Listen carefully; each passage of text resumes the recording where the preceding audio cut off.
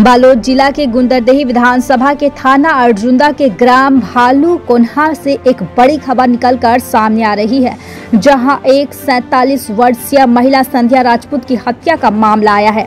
प्राप्त जानकारी के अनुसार अर्जुंदा से महज पाँच किलोमीटर की दूरी में बसा ग्राम पंचायत भालू कोन्हा जहाँ पर एक सैंतीस वर्षीय महिला का छत पर मृत अवस्था में शव मिला है। मारने के उपरांत शव को चादर से ढका हुआ है। फिर हर पुलिस विवेचना में लगी हुई है। मृत संध्या राजपूत तलाकशुदा थी और वह किराए के मकान में अकेली रहती थी, जिसे किसी अज्ञात व्यक्ति ने छत के ऊपर ले जाकर अज्ञात हथियार से बेरहमी से मारकर हत्या कर दी और चादर उड़ाकर भाग गया। मृतक के पास छत पर दो मोबाइल पड़ा हुआ मिला।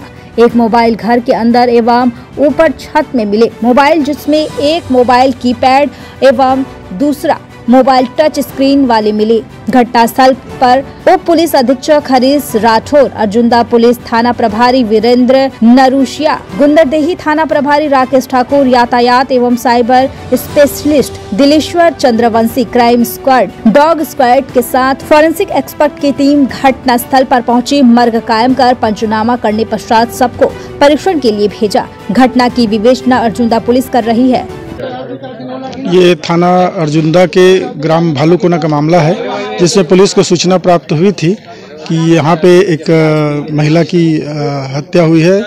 इस पर सूचना पे पुलिस या और एफएसएल अधिकारी यहाँ पे मौके पहुँचे थे, निरीक्षण किए हैं। मृतिका संध्या राजपूत यहाँ अपने घर पे अकेली रहती थी।